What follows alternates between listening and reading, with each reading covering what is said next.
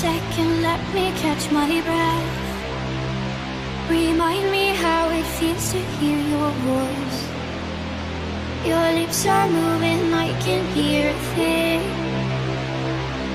Living life as